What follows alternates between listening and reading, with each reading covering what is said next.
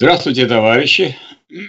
Меня зовут Попов Михаил Васильевич, президент Фонда Рабочей Академии. Ученое звание у меня профессор по кафедре экономики и права.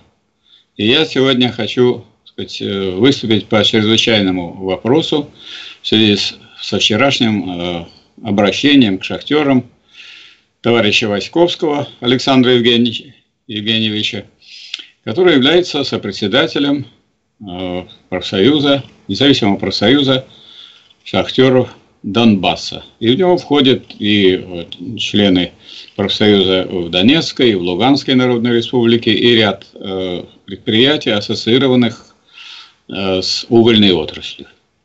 А в чем состоит сообщение?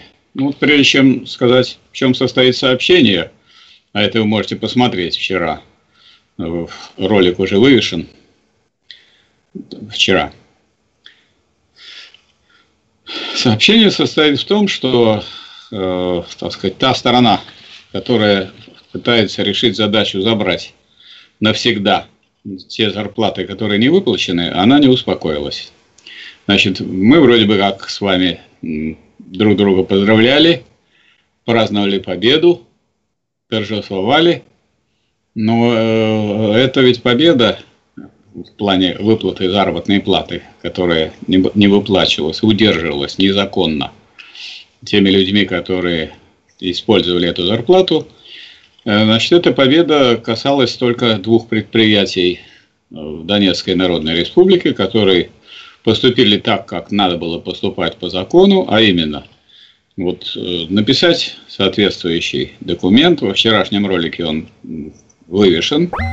Наш руководитель нашего канала Сергей Викторович Тюленев вывесил это. Там я бы э, только одну поправку сделал. КЗОТ пишется Кодекс законов о труде. Последние две буквы тоже с большой буквы. КЗОТ. ДНР. Это часть первая статья, 34 и часть вторая статья 113. В соответствии с этим кодексом каждый человек, которому не выплачивают его зарплату, то есть некоторые говорят задерживают. Это нехорошо э, так высказываться. Что значит задерживают? Не задерживают, а удерживают. И удерживают чужую зарплату и удерживают незаконно. И как думаете, где она лежит, эта зарплата? Она лежит, думаете, где-нибудь э, там в сумке или где, так сказать, на полу? Она же лежит где? В банке. И на эти банки, на эти э, деньги идут проценты. Значит, вот те предприятия, которые перечислены э, Александром Евгеньевичем вчера, и которые решили использовать для того, чтобы на них провести эксперимент с ликвидацией так сказать, всей той суммы, которая незаконно удерживается собственниками шахт.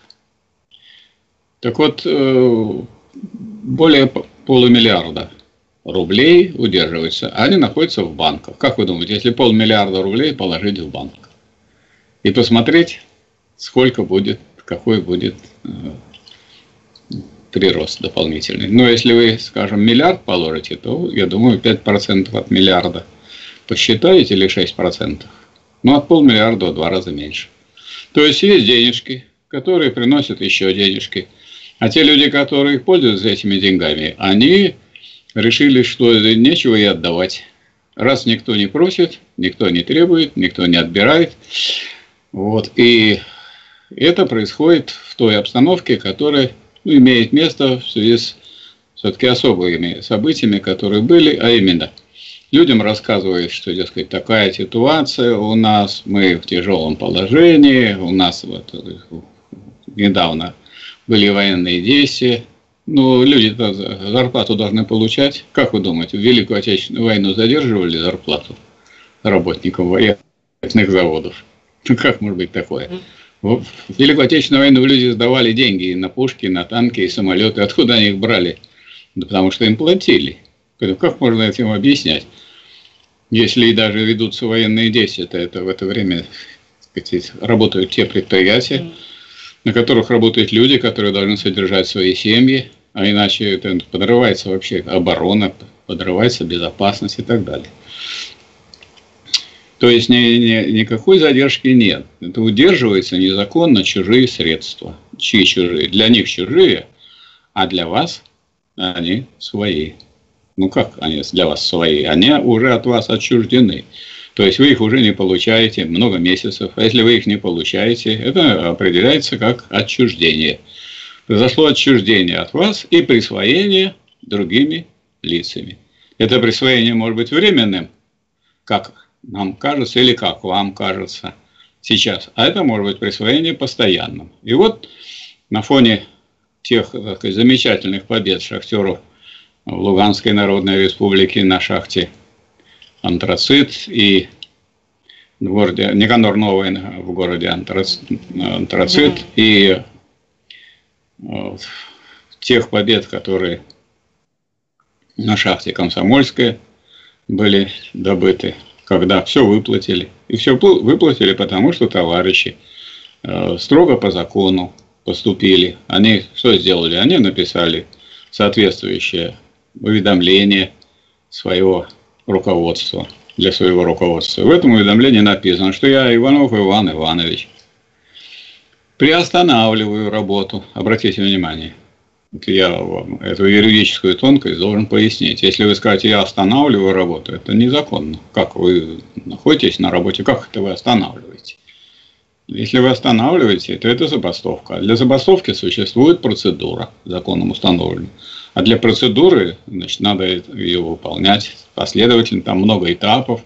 Там есть выдвижение требований, там есть переговоры, там есть э, приглашение посредника, там есть э, трудовой арбитраж, потом новая конференция, должно быть более 50%, потом идет голосование, потом избирается стачечный комитет, определяется форма забастовки, она будет там на 5 дней, на 6 дней или бессрочная.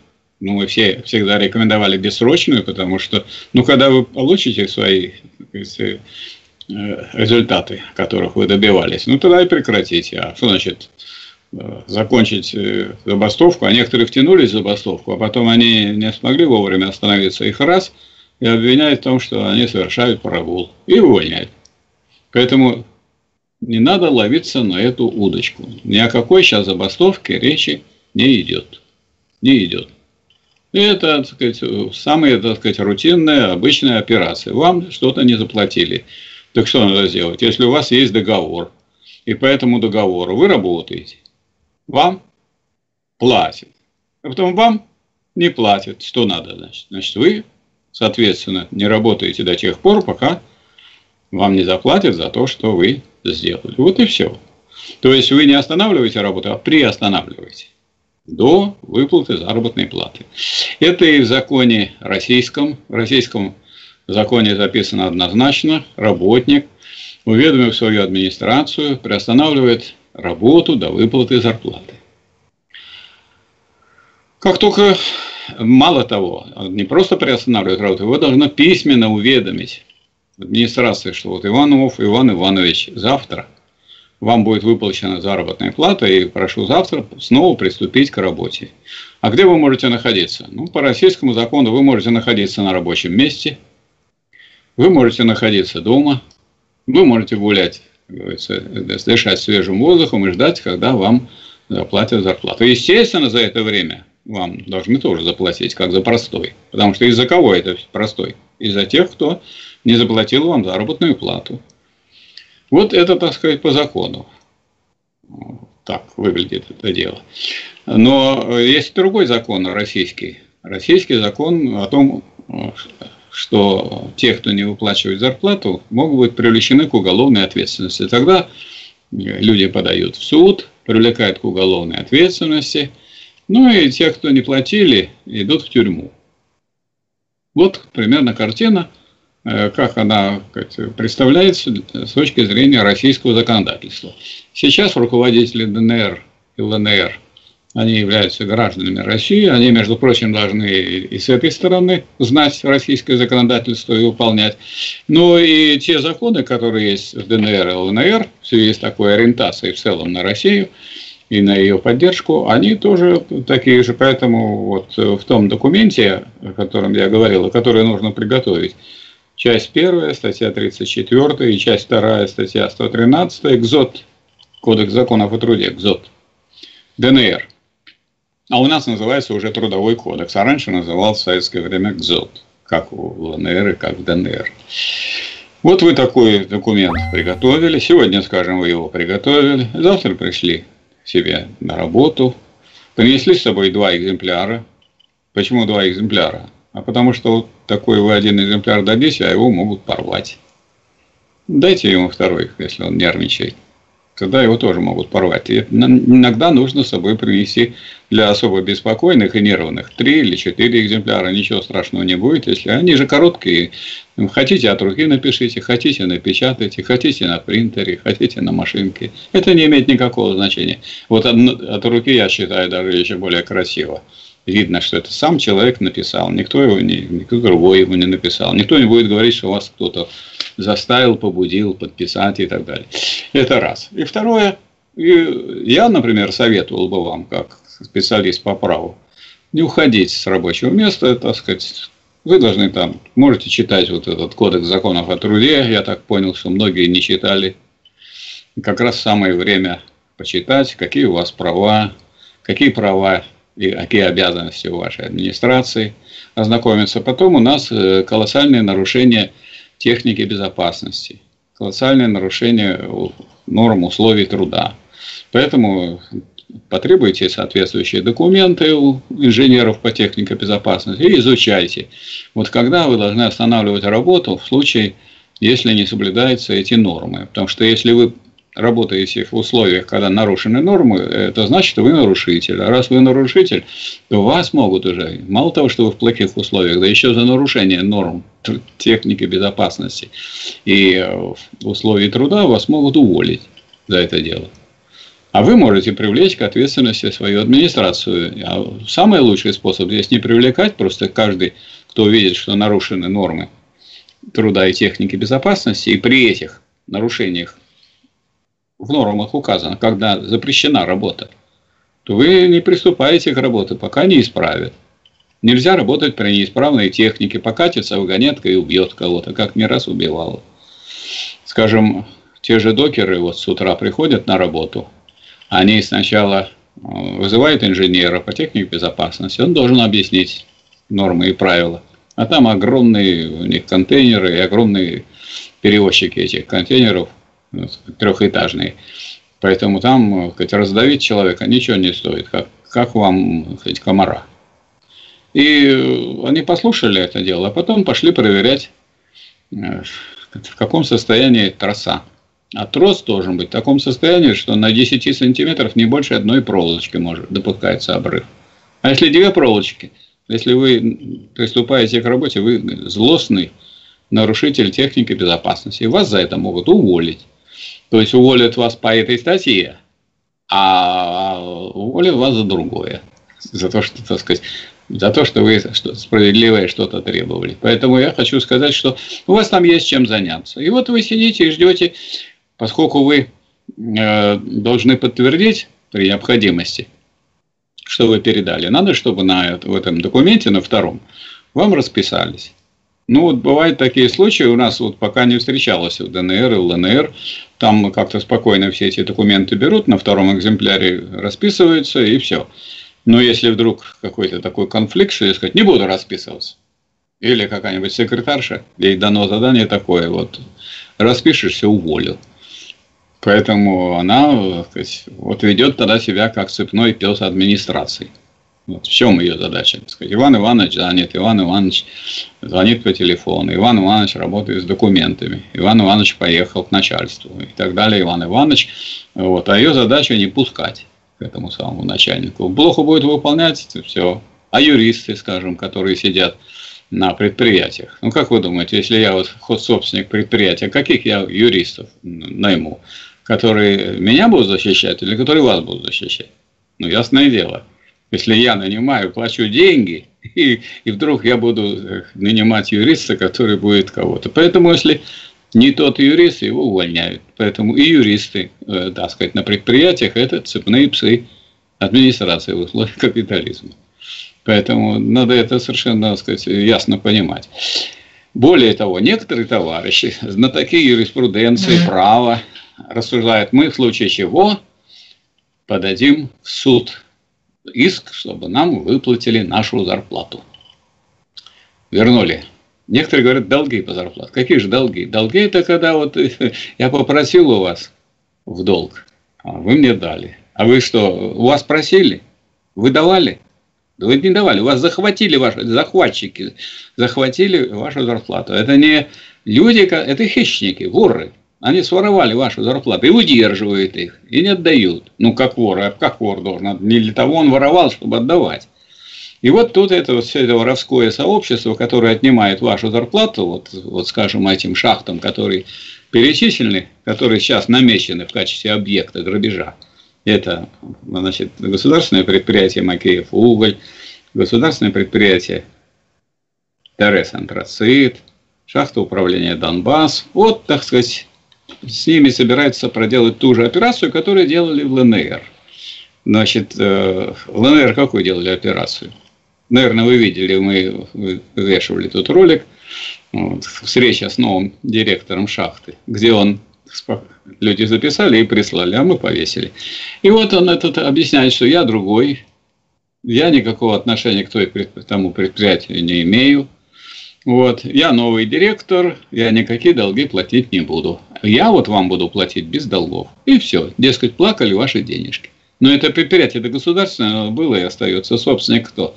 Государство. Кто вам должен? Государство. Вот эти все предприятия, которые намечены, вот государство хочет их как бы передать напрямую или через разные схемы, типа как вот оно э, значит, становится другим, и его переводят в аренду, дают в аренду. И вот приходит новый человек, ну, симпатичный, улыбающийся, значит, приветствует коллектив шахты и говорит, я теперь ваш директор и собственник этой самой арендатор вашей шахты. Ну, естественно, если арендатор, какие ко мне претензии? Ну, какие? Никаких. И опять у людей начинает, ну, так сказать, ну, так сказать, знакомых с правом и считающих себя юристами, такая надежда, что я подам в суд. Ну, во-первых, вы знаете, чтобы подать в суд, надо написать заявление правильно. Потом, значит, если оно неправильно, приостанавливает его судья. Потом через два, через три месяца может быть рассмотрение, поскольку очень все заняты, эти сложные условия. А потом, знаете поговорку, с богатым не судись. Он наймет шесть адвокатов, которые будут щебетать. А вы будете, так сказать, говорить, вот, мне не заплатили. Ну, он будет объяснять, почему вам не заплатили. И найдет тысячу всяких вещей. Ну, допустим, вы выиграли. Я вас приветствую, поздравляю. Можете этот э, выигранный свой документ, решение суда, так сказать, повесить на стену. Почему? Потому что после решения суда надо еще пойти Некоторые думают, что вот решил суд и все. Ничего никто не будет делать. Вы должны взять это пойти снова в этот суд, пойти к секретарше и сказать, что мне нужно исполнительный лист, чтобы выдали. Вам через неделю дадите через неделю.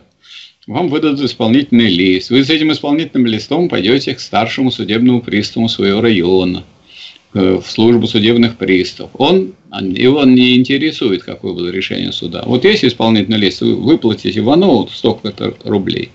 Он тогда, так сказать, э, скажет, приходите к нам через неделю. Вы придете через неделю, он скажет, вот эта девочка или девушка, она судебный пристав-исполнитель, она будет взыскивать, работать над тем, чтобы вы получили. А дальше начинается следующая тягомотина.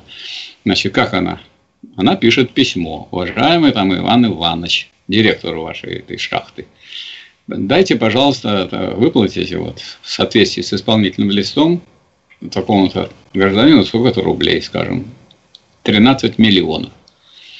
А согласны ли вы добровольно уплатить? Что отвечает директор? Как вы думаете? Пишет «согласен» и отправляет. Оплатить будет? Нет, конечно.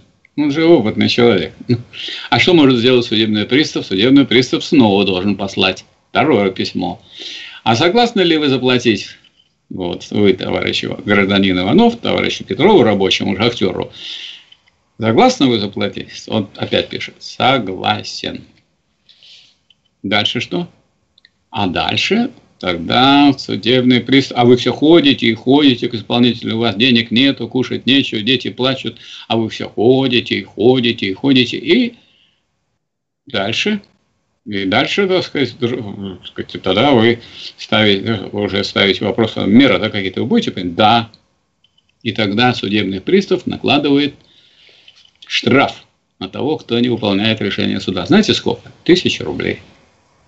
Это даже смешно. Вам должны миллионы, а вам тысячи рублей штраф. Он из ваших денег, из процентов на ваши деньги взял кусочек и отдал. Его спрашивают, штраф будете уплачивать? Да.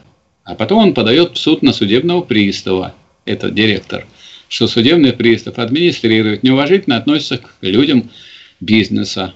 И как вы думаете, у нас вот как суды, кого лучше обслуживают, людей бизнеса или простых рабочих? Ну, как вы думаете? Не знаю, подумайте сами на этот счет. Но это все и так и в России. Если вы думаете, я вам не рассказал про ЛНР, ДНР, там и, и там тоже так же. Но там есть свои особенности. Там какие-то умные, хитрые люди. Хитрые почему? Потому что, вот, скажем, у такой есть ученый, философ Гегель, говорит, есть вот глупость, хитрость и ум или разум. Вот вы же не назовете просто умного, умного человека просто хитрым, правда?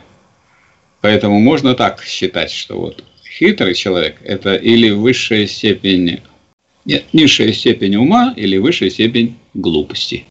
Вот Горбачев всех перехитрил, уничтожил Советский Союз или организовал уничтожение Советского Союза.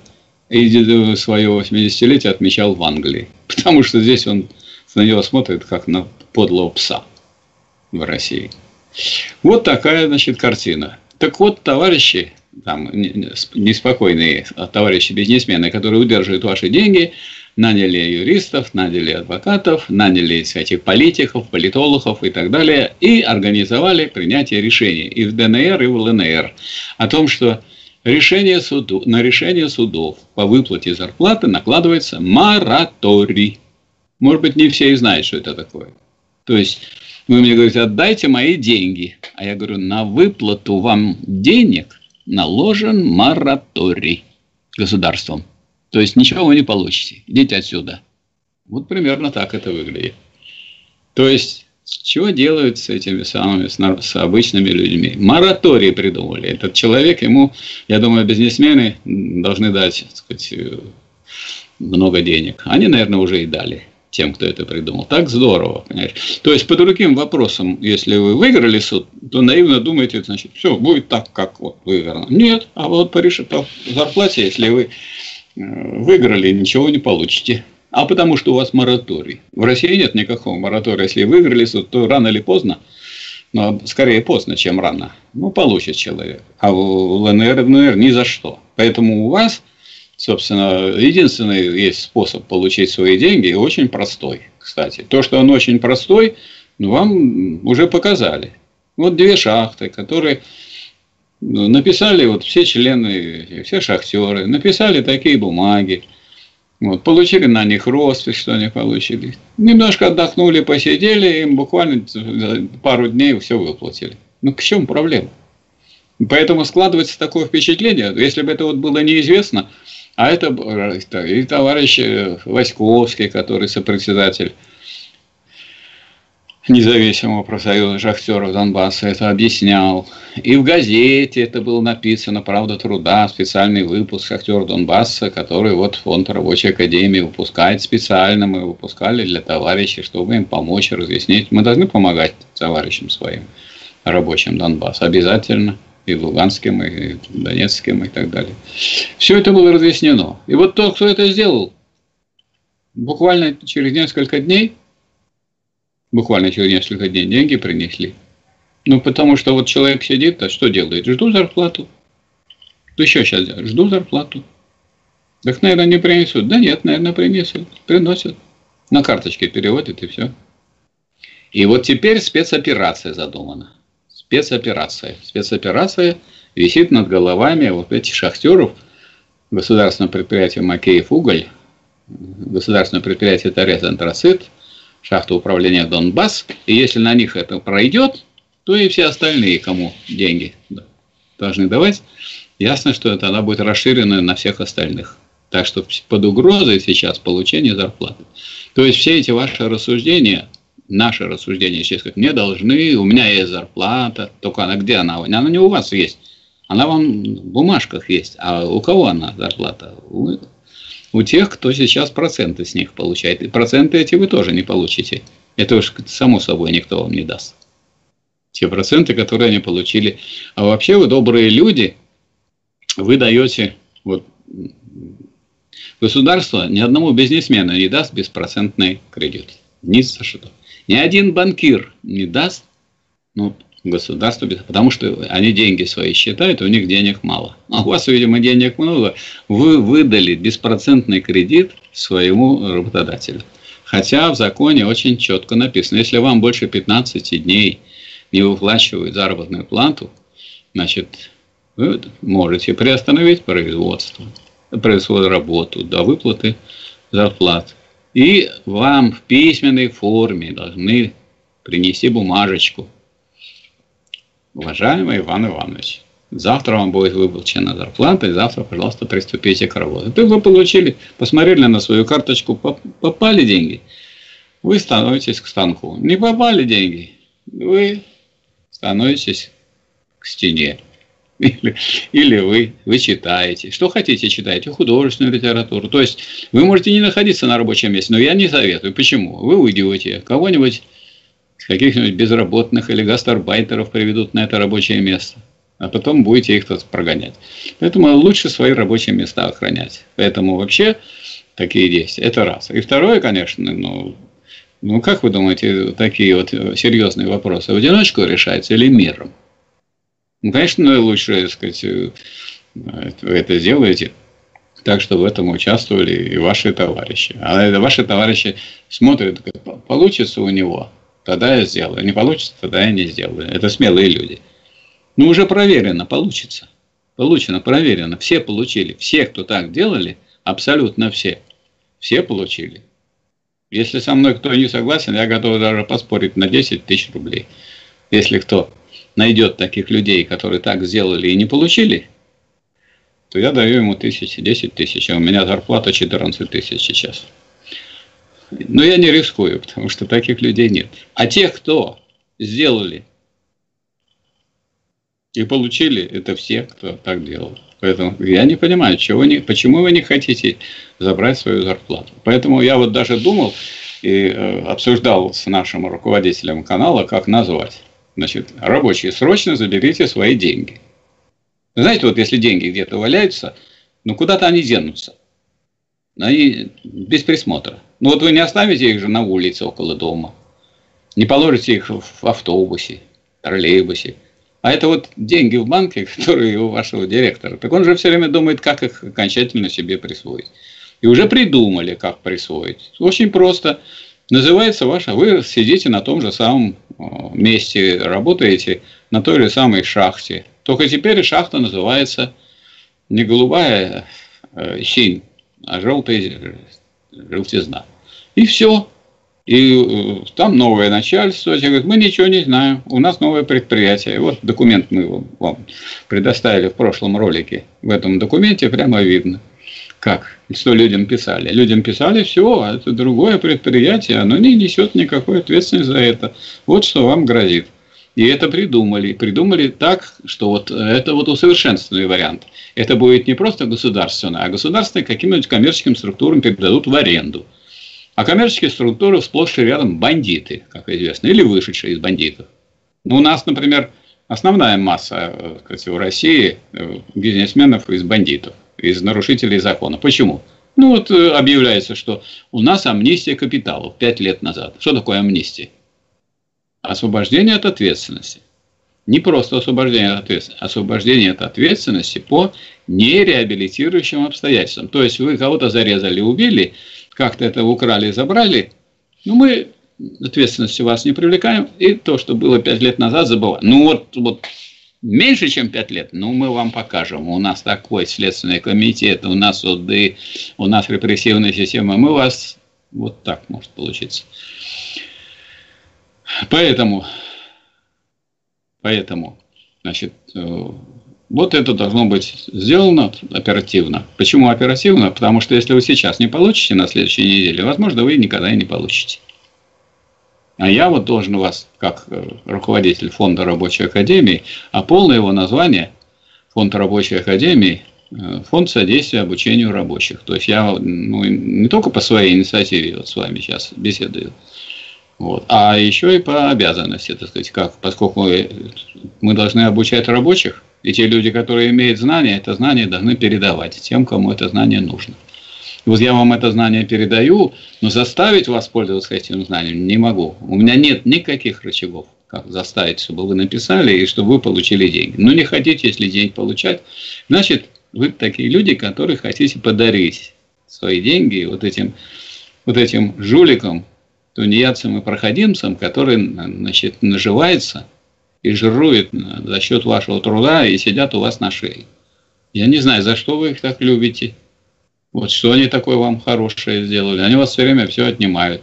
Вы работаете на них так, как работали крестьяне на барина. А как крестьяне на барина работали? Очень просто. Идите на барщину. То есть, там что-то вы делаете у себя на участке, но 4 дня в неделю идите на барщину. В некоторых случаях 3 дня. Ну, на барщине платят зарплату? Нет. У вас платят зарплату? Нет. Вам цифры показывают. А зарплату-то вы не получаете. И сколько уже вы не получаете зарплату? Я думаю, что там какая-то порода выведена в Луганске и Донецке людей, которые могут жить без еды. Может, вы расскажете, поделитесь с этими, с, с, россиянами. У нас же тоже сплошь и рядом тоже не платят зарплату. Но у нас э, в свое время, это было в лихие 90-е годы, пошли рабочие, взяли железные палки, сели на Транссибирскую магистраль, закрыли все, все движение, все поезда и на них завелись было уголовные дела из-за того, что они пошли, так сказать, но не так, как вот с бумагой, как вы. С бумагой вас никто не тронет. А тут на них завели уголовные дела, потом убрали эти уголовные дела, потому что пойдут с этими палками и будут, так сказать, уже по головам тех, кто заводит уголовные дела. Потому что людей нельзя доводить до того, что у них дети плачут от голода.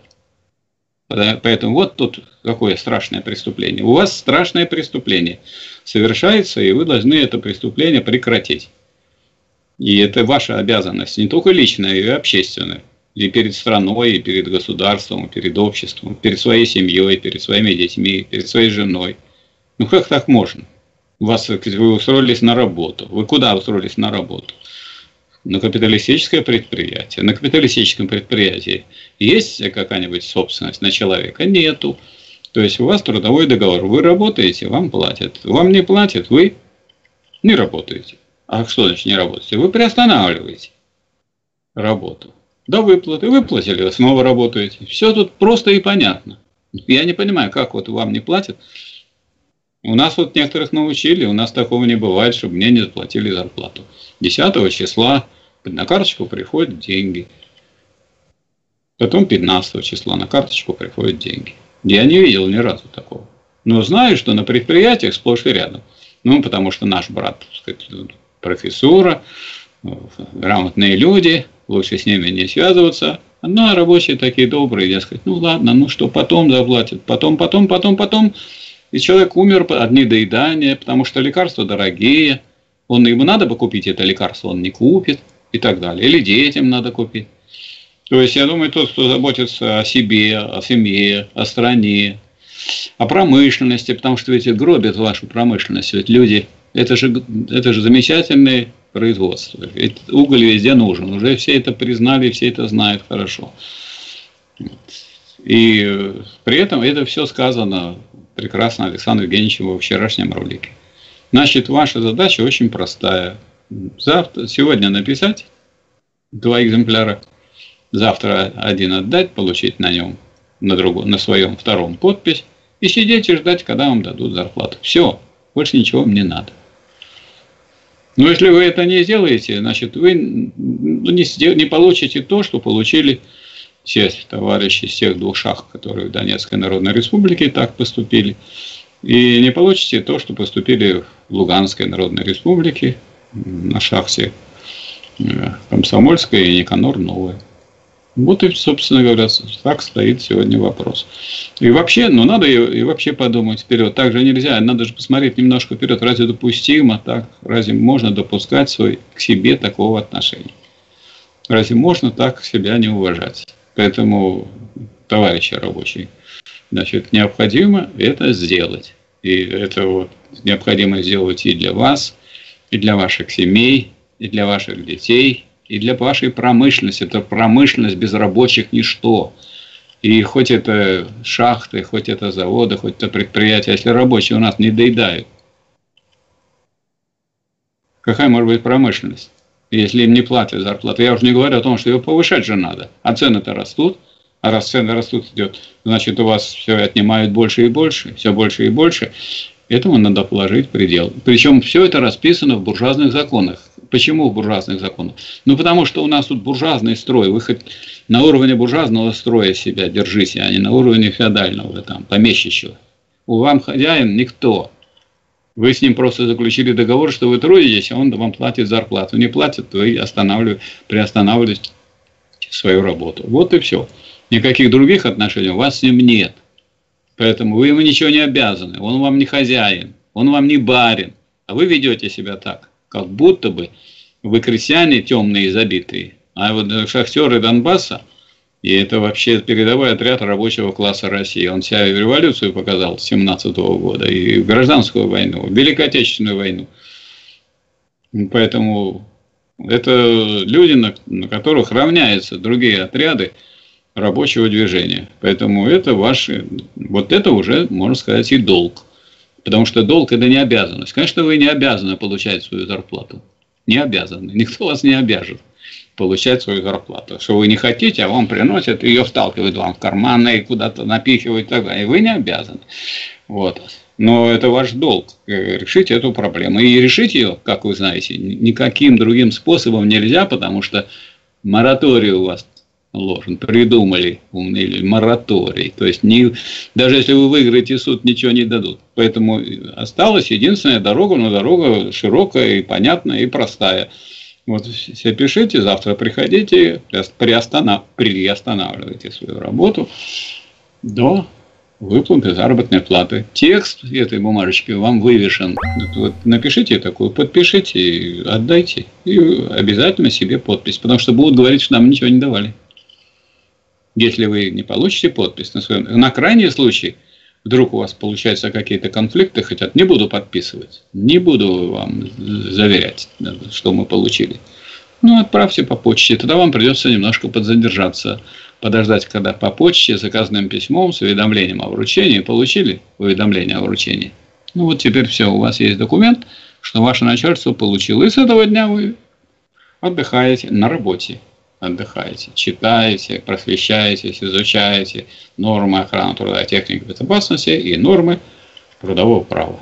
И вот на этом я, как э, профессор по кафедре экономики и права, и как э, президент фонда рабочей академии свою консультацию значит, заканчиваю. И хочу сказать, что мы надеемся на то, что вы не подведете и покажете, что у вас есть и достоинство человеческое, и не, не позволите с вами обращаться как с рабами или как с бессловесными крепостными крестьянами.